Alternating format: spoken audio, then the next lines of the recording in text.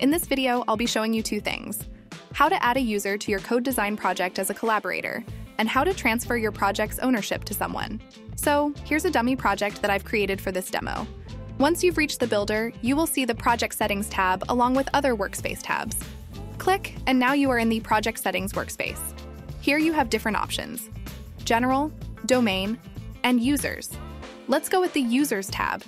Here in the Users tab, you'll find this table listing the project owner and people with access to this project. So you have two options here.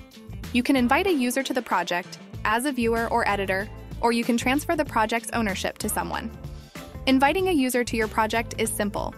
You can enter the email address here. The user will be notified via email. If they don't have a CodeDesign account, they will be invited to create one.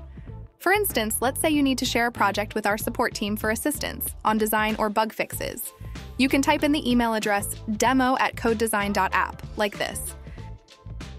Now make sure to assign the relevant role here, which in this case would be editor, and then click on the Add button. So that's sorted. Moving on to the Transfer Ownership section. Let's say that you built a website for a client and want to transfer its ownership later on. Enter your client's email address and then click on Transfer Project button. Note that sometimes it may take up to 15 minutes for the ownership info to propagate. So that's a wrap. I hope this video has helped you understand how to invite users and transfer ownership of a project. If you have any questions, please let me know.